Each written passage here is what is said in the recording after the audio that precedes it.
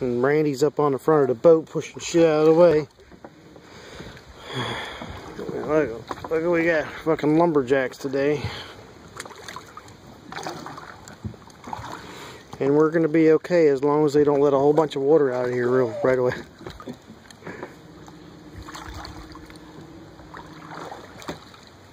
That's a nice pair of shoes right there.